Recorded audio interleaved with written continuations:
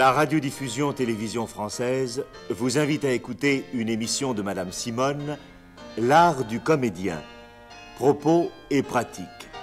Aujourd'hui, Jean-Marie Fertet et Raymond Jourdan travaillent des fragments du Hamlet de Jules Laforgue. Mise en onde, Georges Godebert.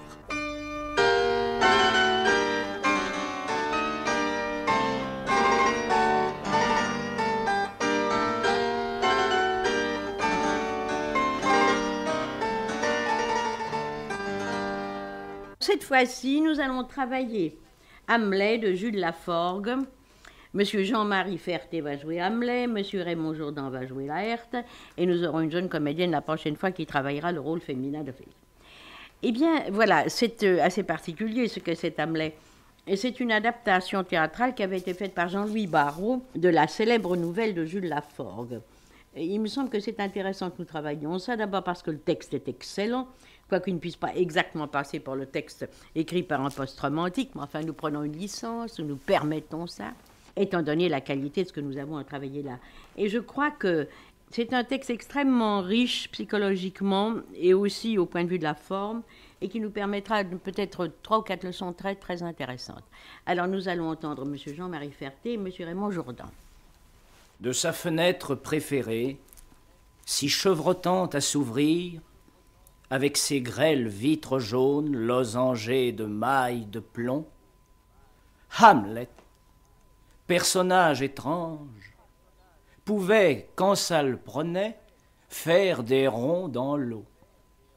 Dans l'eau. Autant dire dans le ciel. Voilà quel fut le point de départ de ses méditations et de ses aberrations. La tour, où, depuis l'irrégulier décès de son père, le jeune prince s'est décidément arrangé pour vivre, se dresse en lépreuse sentinelle oubliée, au bout du parc royal, au bord de la mer qui est à tous. Mais la coulée douce et large comme ses flots. Ah, de la mer aux nuées, des nuées à la mer, et laissez faire le reste. Alors, avant que vous alliez plus loin, chers amis, je vous reprends tout de suite et vous allez recommencer, parce que là, nous en avons pour 90 leçons, parce que vous n'aurez même pas fini avec ce mouvement-là à la fin de l'été. Alors, recommencez, hein, beaucoup plus vif. Je ne dis pas plus vif d'intention, je dis plus vif de rythme. De sa fenêtre préférée, si chevredante à s'ouvrir avec ses gritres belles, jaunes losangées de mailles de plomb, Hamlet, personnage. C'est pas pourquoi vous avez aussi aspiré l'âge de cette façon provocante. Vous avez dit Hamlet. Hein? Alors vous aviez l'air un petit peu malade. Personnage étrange pouvait, quand ça le prenait, faire des ronds dans l'eau. Dans l'eau, c'est-à-dire dans le ciel. Alors reprenez ça comme ça. Et alors, dites-vous que tout, tout ce que fait la forgue est tout- toujours à base d'humour. Je trouve, en revoyant ça, qu'il y a une espèce de filiation assez étrange entre Giraudoux et, ce texte, certaines choses de Giraudoux. Et les choses de Giraudoux, comme celles de la Forque, sont toujours faites à base d'humour. Alors faites bien attention, c'est-à-dire que les recherches verbales, elles ne sont jamais gratuites, elles sont toujours faites dans le sens de l'humour. Alors pensez à ça quand vous allez lire le texte, et puis dites-le moi plus vif. De sa fenêtre préférée, Voilà. si chevrotante à s'ouvrir avec ses grêles vitres jaunes losangées de mailles de plomb, Hamlet, personnage étrange, pouvait, quand ça le prenait, faire des ronds dans l'eau, dans l'eau, autant dire dans le ciel. Voilà quel fut le point de départ de ses méditations et de ses aberrations. La tour, où depuis l'irrégulier décès de son père, le jeune prince est décidément arrangé pour vivre, se dresse en lépreuse sentinelle oubliée, au bout du parc royal, au bord de la mer qui est à tous. Ah, la coulée est douce et large comme ses flots. C'est trop bas de ton, Ferté, n'est-ce pas? Oui. Il ne faut pas que ce soit plus bas de ton que le commentateur, n'est-ce pas? Ah, mais la coulée douce et large comme ses flots. Ah, de la mer aux nuées, des nuées à la mer, et laissez faire le reste. Et maintenant, je vous laisse aller. Moi, je voulais tout de même vous dire ça au début, Oui. parce que ça tarait tout de même ce que vous faisiez. Ah, mais la coulée douce et large comme ses flots. Regardez pas de teint. Ah, de la mer aux nuées, des nuées à la mer, et laissez faire le reste. Ah, que je fusse seulement poussé à m'en donner la peine. Mais tout est si précieux de minutes et si fugace. Et rien n'est pratique que se taire, se taire et agir en conséquence. Stabilité, stabilité. Ton nom est femme. J'admets bien la vie à la rigueur, mais un héros. Et d'abord, arrivé domestiqué par un temps et des milieux, est-ce une bonne et loyale guerre pour un héros? Un héros. Écoute, le reste fut des levées de rideau. Moi, si j'étais une fille bien, je ne permettrais qu'à un pur héros de poser ses lèvres sur ma destinée. Un héros dont on pourrait citer les hauts faits au besoin. Ou les formules. Ah, par ces temps de danno et de vergogna, comme dit Michel-Ange, cet homme supérieur à tout notre Walsen. Il n'y a plus de jeunes filles, toutes des gardes malades. J'oublie les petites poupées adorables, mais hélas, incassables, les vipères et les petites oies à duvet pour oreiller. Un héros. Ou simplement vivre. Méthode, méthode, que me veux-tu? Tu sais bien que j'ai mangé du fruit de l'inconscience. Tu sais bien que c'est moi qui apporte la loi nouvelle au fils de la femme, et qui vais détrônant l'impératif catégorique et instaurant à sa place l'impératif climatérique. Le prince Hamlet en a comme ça long sur le cœur, plus long qu'il n'en tient en cinq actes plus long que notre philosophie n'en surveille entre ciel et terre. Mais il est en ce moment particulièrement agacé par l'attente de ces comédiens qui n'arrivent pas, et sur lesquels il compte si tragiquement. Outre qu'il vient de réduire en morceaux les lettres d'Ophélie, disparues depuis la veille, lettres écrites par une manie de petite parvenue, sur du papier de Hollande bille, si récalcitrant à déchirer que les doigts de Hamlet lui en cuisent encore furieusement. Ah misère et petit fait. Où peut-elle bien être à cette heure? Sans doute chez des parents à la campagne. Elle saura bien venir, elle connaît le chemin. Elle ne m'eût d'ailleurs jamais compris. Quand j'y songe, elle avait beau être adorable et fort mortellement sensitive. En grattant bien, on retrouvait l'anglaise, un but de naissance de la philosophie égoïste de Hobbes. Rien n'est plus agréable dans la possession de nos biens propres que de penser qu'ils sont supérieurs à ceux des autres, a dit Hobbes. Les deux étoiles de cette troupe sont là, selon les ordres de votre Altesse. Quels ordres? Et puis, Sa Majesté la Reine demande si Son Altesse persiste à vouloir faire donner le spectacle ce soir même. Crûment Pourquoi pas? C'est que Son Altesse ne l'ignore pas, l'enterrement du Lord chambellan Polonius a lieu aussi ce soir, tout à l'heure. Eh bien, en voilà des considérations. Les uns jouent tandis que les autres rentrent dans la coulisse, voilà tout. Et l'idéal se sélecte quand même son petit maximum tous les soirs. Allez, va, mon pauvre vieux, va. Entrez, mes frères. Asseyez-vous là et prenez des cigarettes. Voici du Dubec et voici du Birdseye. C'est sans façon chez moi. Comment t'appelles-tu, toi? William. Et vous, ma jeune dame? Oh mon Dieu, comme elle est belle. Encore des histoires. Ophélia. Comment? Encore une Ophélia dans ma potion Oh, cet usurier manie qu'ont les parents de coiffer leurs enfants de noms de théâtre Car Ophélia, ce n'est pas de la vie, mais de pures histoires de planches et de centièmes. Ophélia, Cordélia, Lélia, Coppelia, Camélia. Pour moi, qui ne suis qu'un paria, n'auriez-vous pas un autre nom de baptême? De baptême, entendez-vous? Pour l'amour de moi. Voilà, nous allons nous arrêter ici. Alors la première chose qui est évidente, c'est que vos tons sont opposés à ce qu'ils doivent être. C'est-à-dire que le commentateur doit parler bas et Hamlet doit parler plus haut. Maintenant, il y a quelque chose que je vous demande absolument, étant donné que vous êtes tous les deux des comédiens qui savaient ce que c'est que les textes, qui les choisissaient bien. Quand dans votre texte, il y a justement une de ces choses qui sont des choses de pur humour et des choses qui sont amusantes comme forme, Oui. il faut ça que vous en jouiez.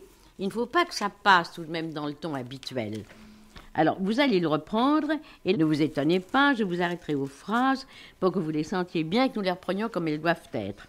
Alors, commencez, monsieur le commentateur. De sa fenêtre préférée. Non, voyez-vous, c'est déjà trop haut comme ton. Il faut que ce soit quelque chose de plus confidentiel. Ah, plus confidentiel, Pas-? De sa fenêtre préférée, préférée, si chevrotante. Ce mot chevrotante n'est pas un mot habituel, c'est un mot, d'homme de lettres, n'est-ce pas? Si chevrotante à s'ouvrir, avec ses grêles vitres jaunes losangées de mailles de plomb, Hamlet, personnage étrange, pouvait, quand ça le prenait, voyez-vous, c'est entre deux virgules, comme ça pourrait être entre une parenthèse, il faut que vous l'indiquiez quand ça le prenait, faire des ronds dans l'eau, dans, dans l'eau, autant dire dans le ciel. Voilà quel fut le point de départ de ses méditations et de ses aberrations. La tour où, depuis les réguliers décès de son père, le jeune prince est décidément arrangé pour vivre, se dresse en lépreuse sentinelle oubliée au bout du parc royal, au bord de la mer, qui est à tous. Alors vous voyez bien les points qu'un accent humoristique doit tout de même apparaître, sans pesanteur, sans forcer, mais apparaître. De sa fenêtre préférée, si Voilà. chevrotante à s'ouvrir. Non, avec- chevrotante, je voudrais que vous le marquiez un peu plus. Pas trop, un peu, si chevrotante à s'ouvrir. Et ça, ce qui vous permettra de le faire sans appuyer, c'est un tout petit temps, comme si vous cherchiez le mot. Car comme le mot est à la fois cherché et trouvé, le temps que je vous indique se justifie. de sa fenêtre préférée, si chevrotante à s'ouvrir avec ses grêles vitres jaunes losangées de mailles de plomb, Hamlet, personnage étrange, pouvait, quand ça Alors le là, je trouve que ce n'est pas tout à fait assez large, n'est-ce pas? Hamlet, personnage étrange. Là, il faut ralentir très, très, très légèrement. Vous comprenez, l'intérêt de travailler ce texte, c'est vraiment de le travailler avec minutie. C'est ça qui vous fera faire un progrès, et c'est ça qui est intéressant pour les auditeurs, c'est de voir tout de même comment, quand on a un texte de cette valeur littéraire et de beau, cette oui. On arrive à le faire passer sans insister, et pourtant en soulignant ce qui lui est particulier. Alors reprenez-moi Je ça. reprends. De sa fenêtre préférée, si chevrotante à s'ouvrir Il faut que vous ses... en amusiez un petit peu aussi. Il ne faut pas seulement prendre un temps mécanique. Il faut que ce temps vous permette de vous amuser comme l'auteur a dû s'amuser, comme on s'amuse quand tout à coup il y a une trouvaille qui vient sous la plume, une trouvaille verbale qui vient sous la plume. Alors je veux le sentir, sa scieux chevrotante à s'ouvrir. N'est-ce pas? De sa fenêtre préférée, si chevrotante à s'ouvrir avec ses grêles vitres jaunes losangées de mailles de plomb, Hamlet, personnage étrange, Voilà, alors ça va un petit peu trop vite là, Hamlet, personnage étrange. Je voudrais qu'on sente les virgules. Et ça, ce sont les respirations qui vous le donneront. de sa fenêtre préférée, si chevrotante à s'ouvrir Non, avec vous ses... n'êtes pas amusé sur chevrotante là. Ah, je vous embête, mais ça ne sert à rien si je vous embête pas. de sa fenêtre préférée, si chevrotante à s'ouvrir Voilà, avec ses grêles vitres jaunes losangées de mailles de plomb. Hamlet, personnage étrange, Bien. pouvait, quand ça le prenait, Voilà. faire des ronds dans l'eau. Dans l'eau, autant dire dans le ciel. Voilà quel fut le point de départ de ses méditations et de ses aberrations. Bien. La tour où, depuis l'irrégulier décès de son père, le jeune prince Vous voyez l'irrégulier. Marquez-le, L'irrégulier. c'est très bien dit. La tour où depuis euh, l'irrégulier décès de son père. Alors, il faut le mettre comme entre deux petites virgules qui sont les respirations. La tour où, depuis l'irrégulier décès de son père, le jeune prince s'est décidément arrangé pour vivre, Bien. Se dresse en lépreuse sentinelle oubliée, au bout du parc royal, au bord de la mer qui est à tous. Bien. Ça y est. Ah, me la coulée douce et large comme ses flots.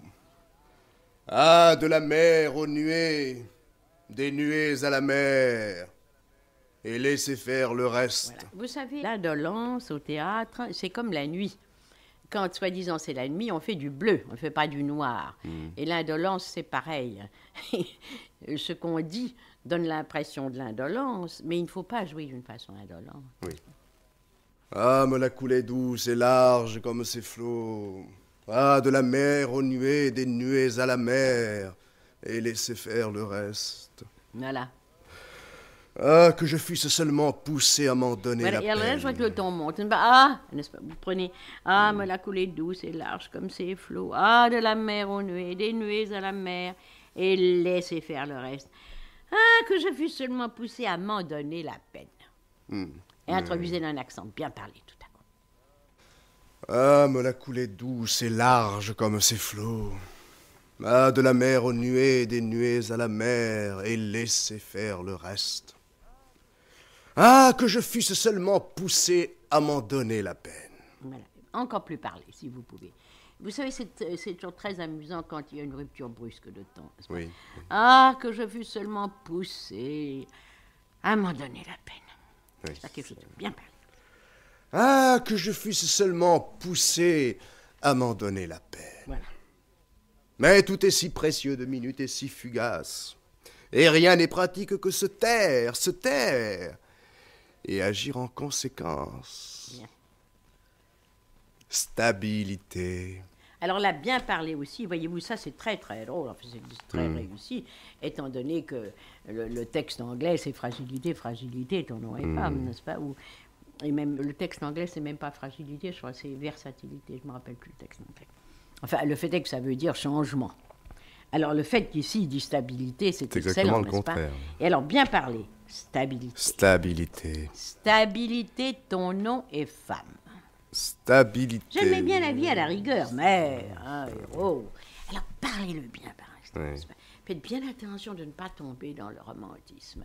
Le- il faut, et il faut que nous en profitions puisque vous pouvez le faire, il faut introduire par moments des accents lyriques, mais il faut très très souvent introduire dedans un accent rigoureusement. C'est c'est du- ça devient du cabotinage lorsqu'il devient lyrique. Il Mais le fait exprès, il fait du faux lyrisme de mauvais goût à Oui, ce oui. moment-là.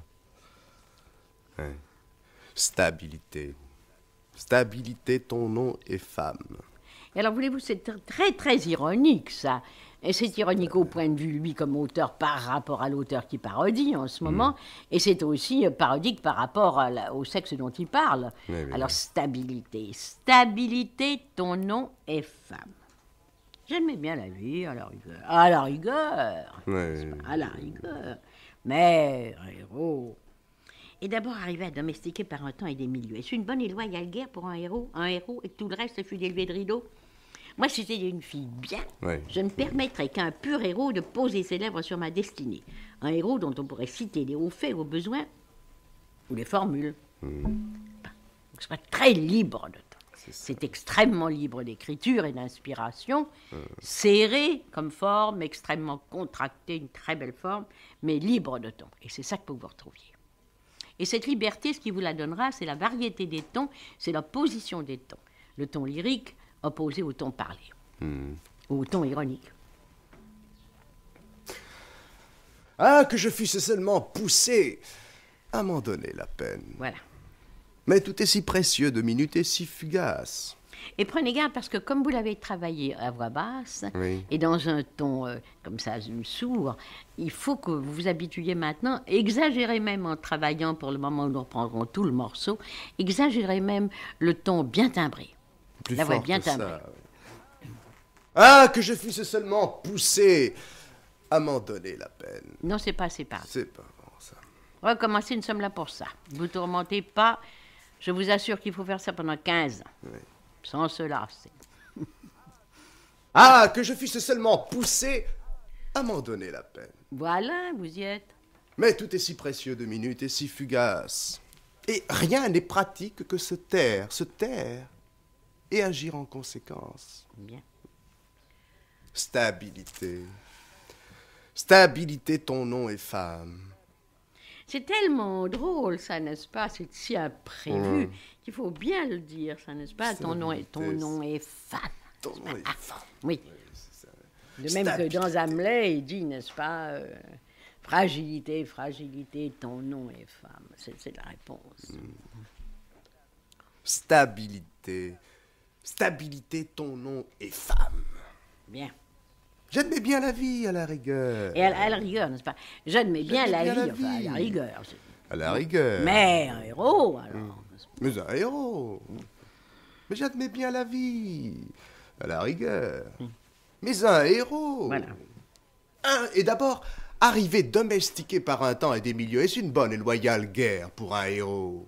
Un héros et que tout le reste fût des levées de rideau. Alors voyez-vous, faites bien attention, faites bien des sens s'arrêter. Hmm. Parce qu'une des choses qui empêche qu'il y ait cet accent parfaitement parlé, par instant que je vous demande, c'est qu'il y a une prolongation de l'intonation. Vous dites, et que tout le reste fut d'élevé de rideau. Oui, je vois pas la fin. Alors il faut au contraire sur un point final. Un héros et que tout le reste fut D'élevé de rideau. C'est ça. Et d'abord, arriver domestiqué par un Alors, temps n'est-ce pas, et ça, des c'est une milieux. question qui est posée, qui est une question amère. Et d'abord, arriver domestiqué par un temps et des milieux, est-ce une heureuse et loyale guerre pour un héros? Un héros. Et que tout le reste soit d'élevé de rideau. Moi, si j'étais une fille bien. Oui. Et d'abord, arriver domestiqué par un temps et des milieux. Est-ce une bonne et loyale guerre pour un héros? Un héros. Et que tout le reste fût des levées de rideau. Bien. Moi, si j'étais une fille bien, je ne permettrais qu'à un pur héros de poser ses lèvres sur ma destinée. Mais vous, il y a de la mélancolie là-dedans, tandis que c'est ironique. Moi, si j'étais une fille bien, je ne permettrais qu'à un pur héros de poser ses lèvres sur ma destinée. Un héros dont on pourrait citer les hauts faits, au besoin, ou les formules. Ah, à part ce temps de Danno et Vergogna, comme dit Michel-Ange, cet homme supérieur à tous nos Thorwaldsen, il n'y a plus de jeunes filles, toutes ces gardes malades. Enfin, j'oublie les petites poupées adorables, mais hélas incassables, les vipères, les petites oies du vieux pour oreiller. Un héros. Ou simplement vivre. Méthode, méthode, comme veux-tu. Et alors là, vous pouvez faire la parodie du romantisme. C'est la grande, oui. C'est un excellent travail parce que c'est un texte chatoyant et alors qui permet justement de vous apprendre cette façon de rendre mille nuances à l'intérieur. C'est un beau texte. Vous voyez en somme, si je résume ce que j'avais à vous dire, c'est que vos deux tons ne s'accordaient pas, ils étaient même contraires à ce qui est souhaitable. Hmm. Oui, en effet. Et alors, vous avez, vous, euh, évidemment, une conception qui est une conception plus mélancolique du héros qu'il ne faudrait, parce que tout de même, c'est l'humour qui, qui prévaut là-dedans. C'est une mélancolie profonde, mais comment dirais-je, c'est un pessimisme plutôt qu'une mélancolie. C'est Oui. un texte pessimiste et humoristique. Et ce Oui, sont les deux choses. Dans, dans l'humour. Voilà.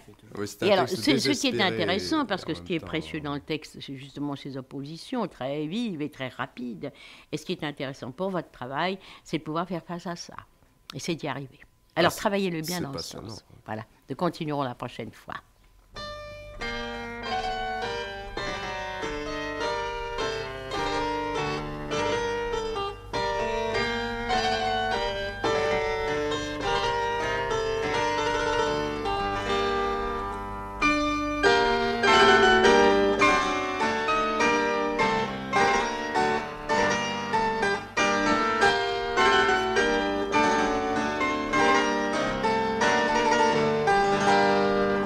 La radiodiffusion télévision française vous a présenté une émission de Madame Simone, L'art du comédien, propos et pratique.